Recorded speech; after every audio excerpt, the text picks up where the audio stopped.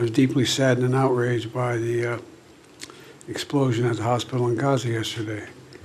And based on what I've seen, it appears as though it was done by the other team, not, not you. But there's a lot of people out there not sure. So we got a lot, we got to overcome a lot of things. Americans are grieving with you. They really are. And Americans are worried.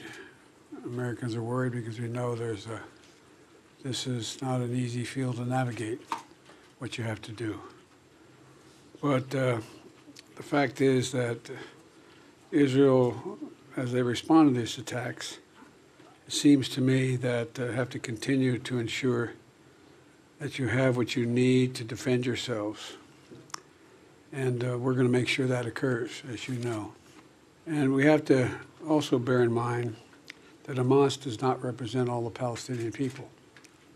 And uh, it has brought them only suffering.